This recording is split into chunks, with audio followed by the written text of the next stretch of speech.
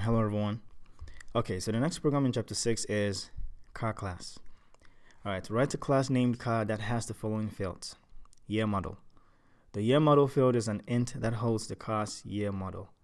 Make. The make field references a string object that holds the make of the car. So basically the make field is, is a variable that's going to reference a string object which is going to hold the make of the car. Speed. The speed field is an int that holds the class current speed. In addition, the class should have the following constructor and other methods. Constructor. The constructor should accept the car's year model and make as arguments. These values should be assigned to the object's year model and make fields. The constructor should also assign 0 to the speed field. Accessors. Appropriate accessor methods should get the values stored in an object's year model, make, and speed fields. Accelerate. The accelerate method should add 5 to the speed field each time it is called. Brake. The brake, the brake method should subtract 5 from the speed field each time it is called. Demonstrate the class in a program that creates a car object and then calls the accelerate, accelerate method 5 times.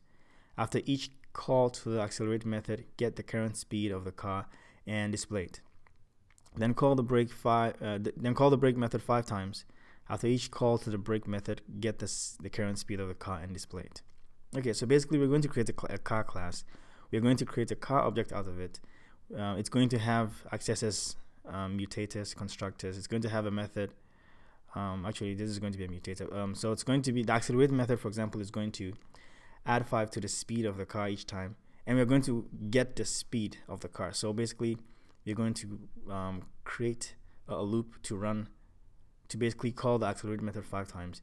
And each time each time we are adding five to it and then displaying what the speed is. So when we simulate it when we run the program it's going to look like we are accelerating and then we are braking the brake method uh, subtract five from the speed each time. But it, it, will make more sense as we start to, to create it. But first of all let's go ahead and create the car class. And then we'll create the program that is going to use the car class to create objects um, and play with it so let, us first work on the car class, following these instructions. So I'm going to go ahead and create a car class. I'm going to start with a keyword public class, and I'm going to call it car. Now I'm going to define the fields, and we can see here that the field it said, um, let me just close this. I like to tighten it up sometimes. All right, so it said year model. The year model field is an is an int that holds the car's year model. So it's basically going to be a, a regular variable, right? But it's going to be a private variable because we want this variable to be private. We, we want it to, we, we don't want code outside this class to be able to access it directly. We don't want code to outside this class to be able to change it directly or to be able to even directly just view the content of it without doing something else. We don't want it to say just, hey, tell me what you're. We wanted to use other means to view the content instead of just being able to directly access it. All right, so we are, we are, we are hiding it from any code outside this class, making it private within this class. So anything within this class can access it, but anything outside this class cannot access it. So, we, so we are keeping all the fields private. So private, it said the field is an int. So private int, and it's called year model, right? And the next one is going to be make. The make field references a string object that holds the make of the car. So it's a string. So private string make. The speed field is an int that holds the car's current speed. So the speed field is an int. So private int speed. Now we're done with the with the um, uh, the filter of the class. Let's move on to the next thing. Over here it said in addition, the class should have the following constructor and other methods. So now let's go ahead and create the constructor. It said over here that the constructor should accept the class year model and make as arguments.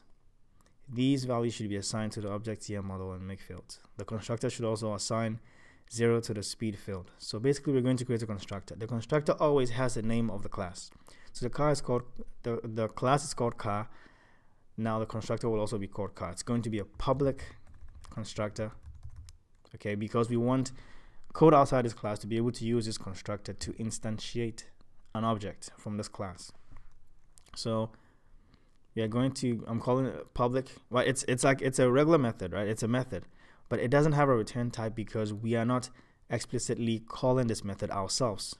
It's the first method that is called when we try to create an object from this class. It's called automatically. We don't do we don't do it ourselves, and because of that, since we are not um, calling um, calling it you know explicitly, it doesn't have it doesn't have a return type. We don't specify a return type because it can't return a value, so we don't specify a return type. Okay, all right, and then no static keyword on a constructor.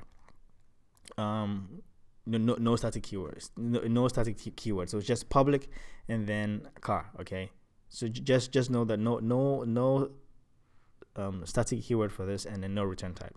So public car, and this this constructor is basically the, the first method that's going to be called when we try to create an object from this class. And all this constructor is going to do is it's going to prep up this ob uh, object. Basically, it's going to it's going to prep up the object you're trying to create from this class. Basically, what I mean by that is it's going to in initialize the these variables. And we need to specify what it should initialize it with. Okay. Now over here it said the constructor should accept the class year model and make as arguments. So it's going to accept as as argument the class year model. So since it's going to accept the class year model and make as arguments, let's go ahead and define parameters for them right? So let's go ahead and define a parameter for the car, the car's year model. So I'm going to define the car's year model we know is an int. So I'm defining an int parameter as, and I'm going to call it um, year model given, okay? Because that's going to be the year model that's going that's given to us. It said also that over here the constructor should accept the car's year model and make as argument. So the make as well. The make is a string, so I'm defining a, um, a parameter called a string parameter called make given. When you read on the constructor, it says these values should be assigned to the object year, year model and make fields. So that so the so when we create an object from this class, it's going to have these fields as well. So we are setting the year model to whatever the user gave us whoever called us, um, whoever whoever is trying to create an object from this class uh, gave us. Okay, we are setting the filled year model to the year model that was given to this constructor, and we are setting the make to the make given that was given to this constructor. When you read on the constructor, it says the constructor should also assign zero to the speed field. So now this speed field wouldn't wouldn't be initialized. So let's go ahead and do that. Speed is going to be equal to zero. Okay.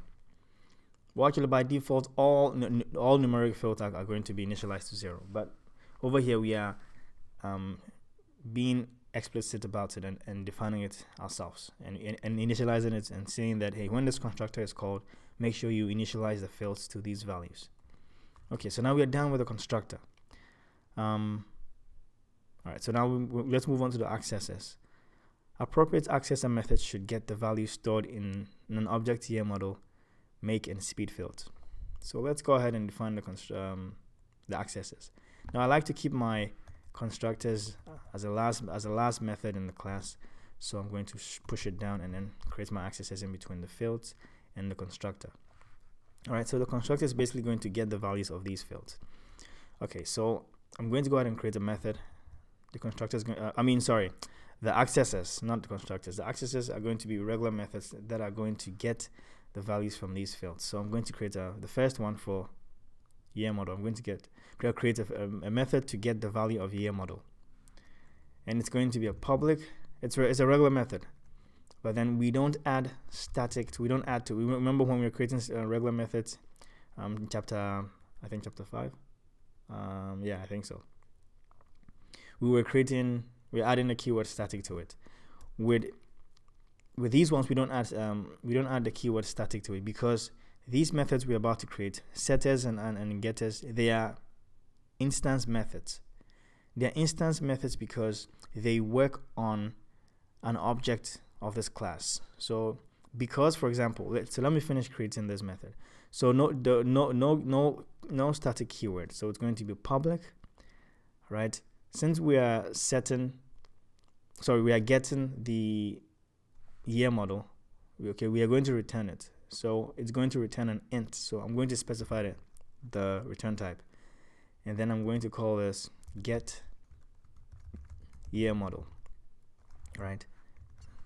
Now, this is an instance method, right? Basically, any method that is acting directly on an object is an instance method. Because this get year model is getting the year model from an object that is going to be created from this class, it is an instance method. And with instance methods, you don't add the keyword static to it.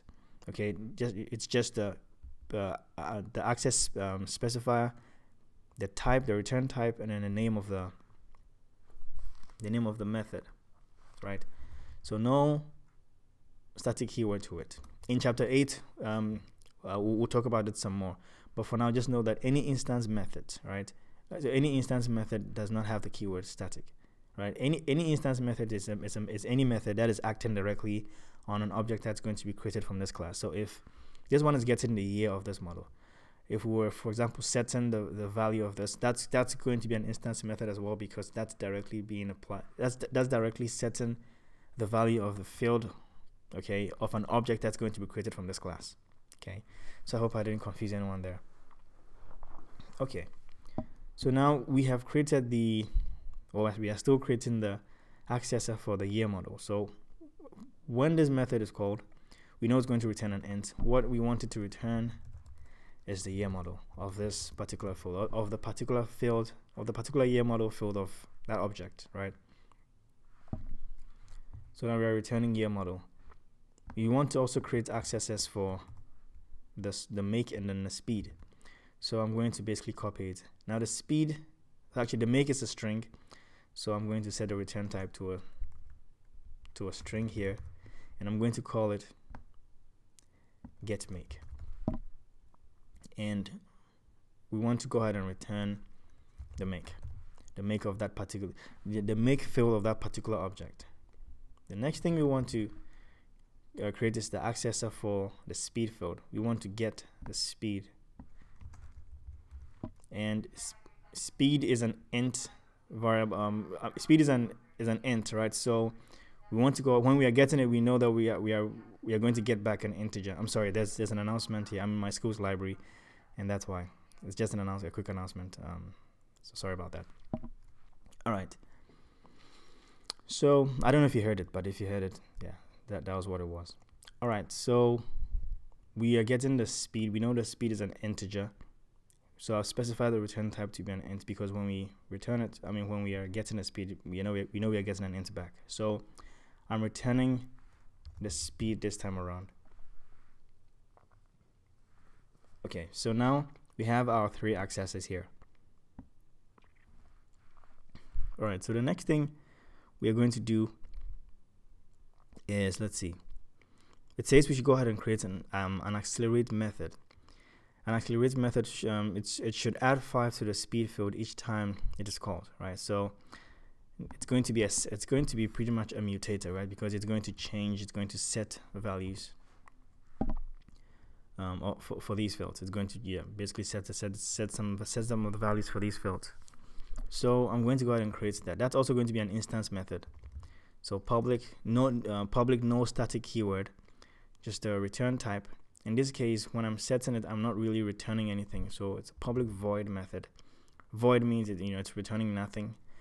Void means nothing. So public void and then I'm going to call it set. Actually no actually we don't have to Do, we don't have that that um, method. We have an accelerate method. So public void accelerate accelerate is not going to return anything return anything. But it's also it's also not going to accept anything as a matter of fact all it's going to do is it should add 5 to the speed field each time it is, it is called so I'm going to set the speed field, I'm going to add 5 to it plus equals 5.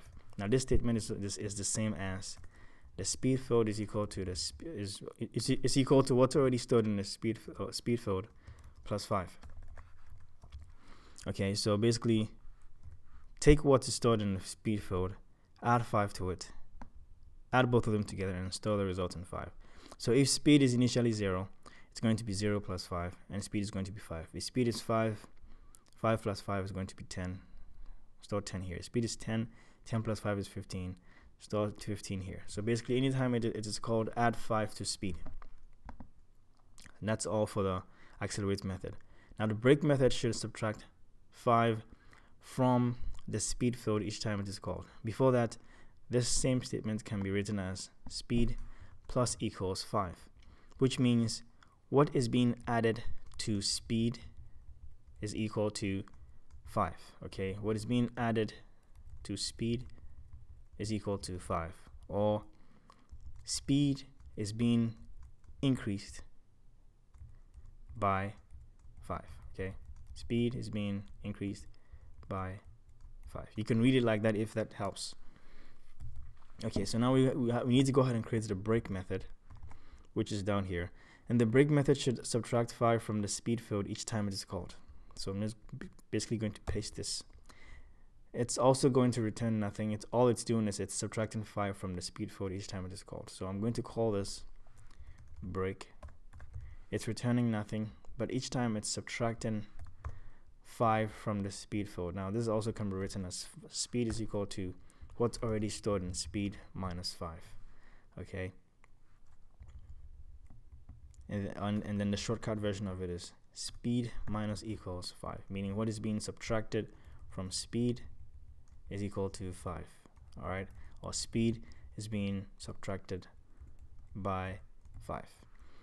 Okay, so now we go, we have our accelerate, accelerate method, our brake method, our accesses, and our where's our constructor? Uh, this is our constructor over here. All right, so I think I I was supposed to push it all the way down. I like to keep my constructors down, so I'll cut it and paste it right below the brake method, so that we have our fields, our accesses, uh, two um, setters. You can think of it uh, basically our mutators or uh, two methods here, and our constructor. So let's see. So that's basically what we have to do for, to create the class. Now it says demonstrate the class in the program. So that means we're going to create a separate a separate program, which is going to use this class to create objects from it. So let's go ahead and compile this um, uh, over here. So so I actually so yeah, this was a test of what I was doing, but um, I don't actually have it saved in the in the main folder. So I'm going to go to desktop and go to Java programming challenges and let's go to chapter 6 okay and then let's save it here. So I'm going to go ahead and create a new folder for say car class. That's the name of it. And then I'll create a folder and then I'll save this as car.java okay we have a, okay I didn't terminate this line. So let me just go ahead and terminate it compile it compile it. I didn't terminate this line as well. So compile it. And then now we're done with this class. So basically this is not a is not a complete program. It's just a class. It's just a, uh, a page with a, a file with a class. It's not a complete program right? So if you try to compile it it won't run. I mean if you try to run it it, it won't run. It will complain that it doesn't have a, a main method Okay, the main method is is a method that's called each time a program um, is run. This is not a this is not a complete program. It's just a class. So now we have to write a program that's going to use this class, right? So let's do that.